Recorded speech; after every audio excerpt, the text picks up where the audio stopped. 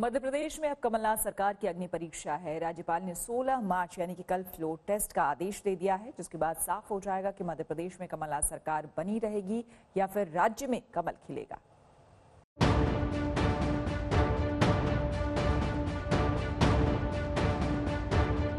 कहते थे, महाराज महाराज, अब कहते माफिया है माफिया है।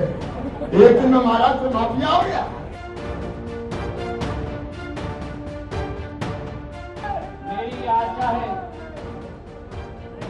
आप एक हैं और हम एक हैं। और जब एक और एक मिल जाए तो दो नहीं होना चाहिए।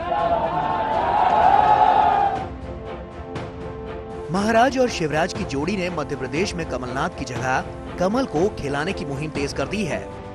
दिल्ली, गुड़गांव, जयपुर, बेंगलुरु में मची सियासी खलबली पर अब भोपाल में विराम लगने वाला है। बीजेपी और कांग्रेस दोनों के लिए फैसले का वक्त आ गया है। मध्य प्रदेश में जारी सियासी घमासान के बीच कमलनाथ सरकार को 16 मार्च को फ्लोर टेस्ट से गुजरना होगा। देर रात एमपी के राज्यपाल लालजी टंडन ने फ्लोर टेस्ट के आदेश जारी कर दिए। सोमवार से शुरू होने वाले बजट सत्र के पहले दिन राज्यपाल के अभिभाषण के तुरंत बाद ही विधानसभा में विश्वास मत पर वोटिंग होगी। मतदान सिर्फ़ बटन दबाकर होगा। ये प्रक्रिया इस दिन पूरी होगी और इसकी वीडियोग्राफी भी कराई जाएगी। उधर कांग्रेस के बाकी 22 विधायकों में से 6 विधायकों का इस्तीफा स्पीकर ने स्वीकार कर लिया है। वहीं 16 बागियों के इस्तीफे को लेकर सस्पेंस बना हुआ है। अगर ये इस्तीफे स्वीकार होते हैं तो कमलनाथ सरकार अल्पमत में आ जाएगी। वहीं कांग्रेस अब कानूनी दावपेच पर भी विचार कर रही है। सूत्रों की माने तो कांग्रेस मामले को लेकर सुप्रीम कोर्ट का दरवाज़ा खटखटा सकती है। लेकिन कांग्रेस के सामने सबसे बड़ी मुश्किल ये है कि आज रविवार है और कोर्ट आज बंद होता है।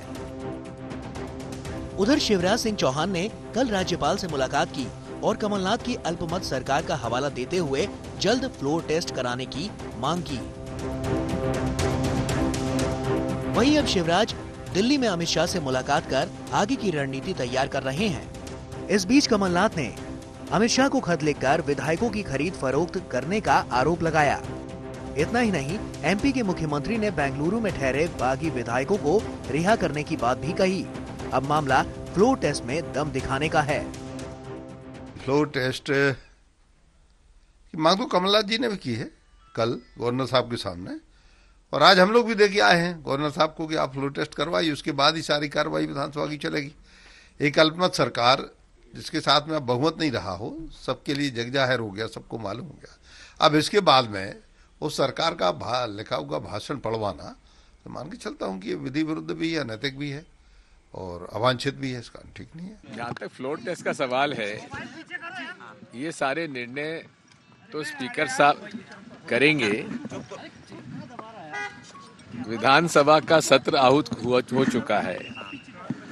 उसका ये नियम है और कानून है और फैसले हैं कि हर वर्ष के पहले दिन माननीय महामहिम राज्यपाल जी का अभिभाषण होता है। उस पर चर्चा होती है। उससे चर्चा होने के बाद उस पर वोटिंग होता है। वही फ्लोर टेस्ट है।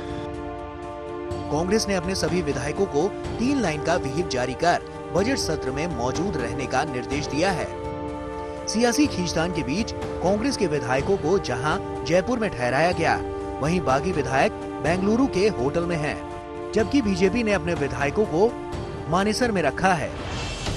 सोमवार को बीजेपी और कांग्रेस दोनों की अग्नि परीक्षा है जहाँ ये साफ़ होगा कि मध्य प्रदेश में कमलनाथ अपनी सरकार बचाने में कामयाब होते हैं या फिर एक बार फिर कमल खिलता है। रवीश पाल के साथ हिमेंद्र शर्मा भोपाल आज तक।